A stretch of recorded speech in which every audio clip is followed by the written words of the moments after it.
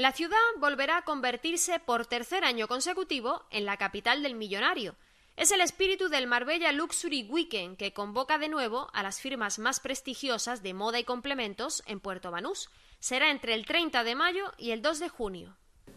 Creemos que Marbella Luxury Weekend eh, debe ser el evento, ese tan ansiado evento a nivel internacional de promoción de Marbella, donde no solo eh, tienen que estar involucradas, como así lo están eh, nuestras autoridades, sino todo el pueblo de Marbella y todos los empresarios y comercio de Marbella. Creo que tenemos una oportunidad eh, muy buena en una época del calendario donde eh, sí que podemos tener eh, relevancia a nivel internacional y espero y deseo que con la ayuda de todos y con el apoyo decidido del Ayuntamiento de Marbella y otras instituciones podamos hacer que esta tercera edición se convierta en una cuarta y una quinta y que realmente consigamos los fines para lo que este Marbella Luxury Weekend nació, que no es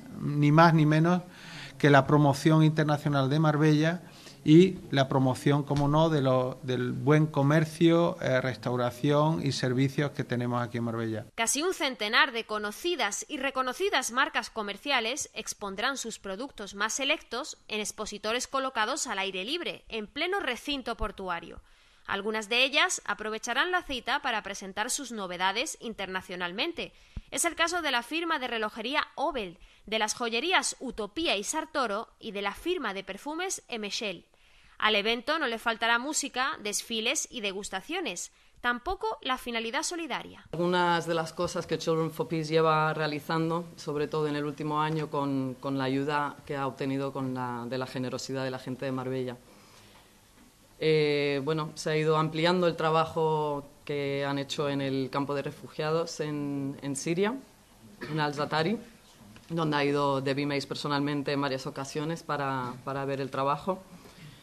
Se está poniendo también muchísimo esfuerzo eh, para luchar para la supervivencia de una tribu indígena en Colombia, en Waunana. Este, este poblado eh, está en, peligro de extinción eh, y puede ser que estén obligados a abandonar sus tierras ancestrales por la guerra civil y, por industria. ¿no? Entonces, bueno, estamos trabajando mucho con un director de, películas, premiado Palma de Oro, nominado a los Oscar, y presentaremos, de hecho, un vídeo aquí en, el marco del, 30 de julio.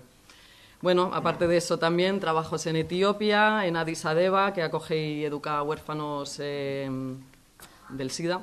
Y también seguimos colaborando con varias otras eh, eh, fundaciones como Mujeres Solidarias en Mali. La organización tiene previstas rifas y sorteos de productos de lujo, cuya recaudación irá destinada a las organizaciones Children for Peace y Therapien for Kinder, esta última dedicada al tratamiento de menores víctimas de guerras.